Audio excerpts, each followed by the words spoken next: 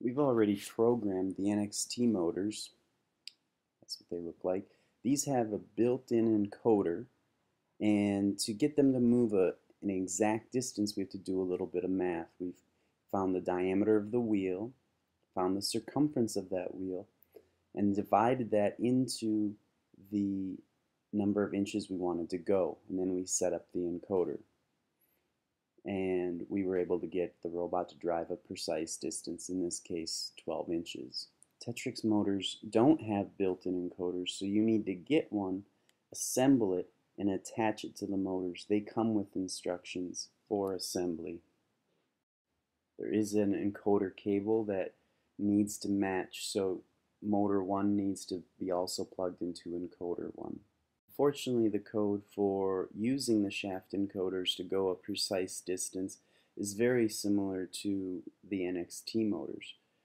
First, we need to make sure though that we set up our motors and our controllers. So in this motors and sensors setup, go to external controllers and if you're using standard Tetrix configuration, that's fine. Otherwise, you can set up a custom one. Mine I'm plugged into sensor port 1. I have a motor controller and then a servo controller daisy chain to it. Now that I have my setup configured, I can go to motors. I'm not using any NXT motors, so I'm going to disable those. And make sure you have your Tetrix motors uh, set up and then give them good names. So I'm driving, I got a left motor and a right motor. And one of them needs to be reversed because they're facing opposite directions. And because I've installed encoders, now I can check those boxes.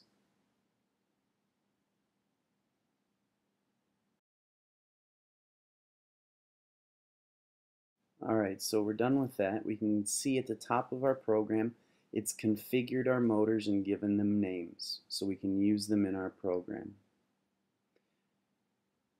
Alright, first thing, the wheels on my Tetrix robot are a different size, so I need to change the diameter to the new diameter of the wheels.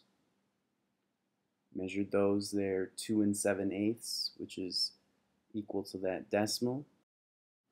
The next line of code determines the circumference of that wheel by multiplying the diameter of the wheel times pi.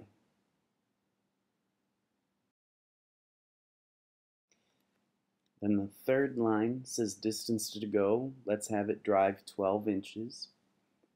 And now, here comes an important part. To find the number of rotations that that wheel needs to spin to go that distance, we need to divide the distance by the circumference. That'll give us the number of rotations. Then, rotations times 360 tells us the number of degrees.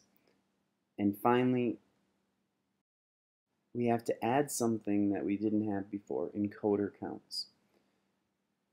The shaft encoder is quarters of a degree, not a whole degree. So to find the number of encoder counts, we have to multiply the number of degrees by 4.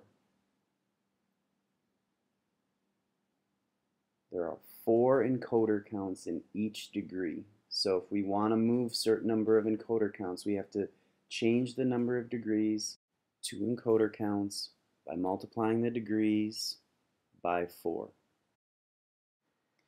You can see that we're referring to motors B and C. We're not using those motors, so we need to make sure that we replace those with the correct names. So RobotC will give the instructions to the correct motors.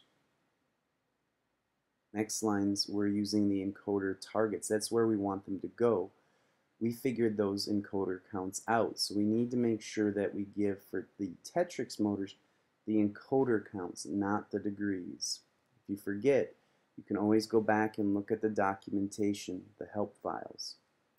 Also, change the names of the motors here as well. We're using left motor and right motor that we set up in the motors and sensors setup. Usually I'm not having my motors drive at 100%. I usually slow them down so that my robot can be more accurate. So I'm going to drive this robot at 50%.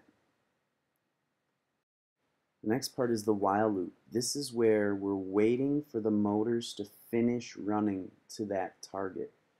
So we're doing nothing. We're just sitting here in this loop spinning, waiting and waiting until the motors are idling and finished. When they're finished, we can turn the motor powers off. All right, so I've set out a tape measure. Let's try this out. The robot should drive one foot. And you can see that it does go a foot.